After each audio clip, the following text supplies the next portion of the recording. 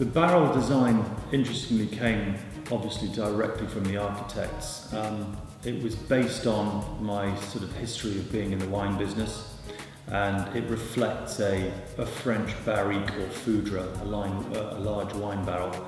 Uh, and some people have commented that it sort of looks like an upturned wine glass. But I suppose with the wood and the um, and the general structure is supposed to sort of mimic that, that wine barrel. We've had all sorts of people saying all sort of things, um, like it reminds them the inside of a, a, a whale's carcass, um, the inside of a ship being built. So uh, I think it's up to everyone to make their own minds up as what it means to them. The high point of the project, um, it's a difficult one because we had, uh, I'd like to think we had a few high points. I suppose for me, watching the entirety of the CLT, the cross-laminated timber structure going up.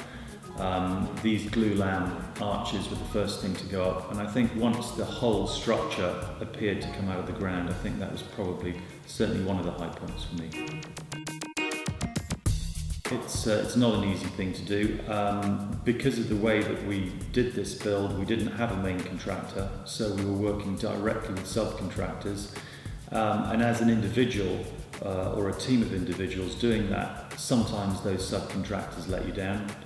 And uh, fortunately, most of the time we had a very good experience and we had a great team of subcontractors that we worked with. There was the odd occasion when we had difficulties um, and you live and you learn and you move on, but nothing that um, really put a sour, sour face on the project. Some of the pitfalls, some of the things to look out for if you're doing your own um, self-build, it does sound a little bit boring, but I think I'd have to say it's about organisation, like most things in life. Um, and I'd like to think that we got very organised. There was a lot of stuff that we had to do with this build where we had to design as we went along, which we were sort of clued into and we knew we were going to have to do that. Um, I think I would toe the line and say to people that you need to get as much design work done up front as you can. Um, and you do have to be really very organised and very on top of everything, otherwise you can get yourself into a muddle.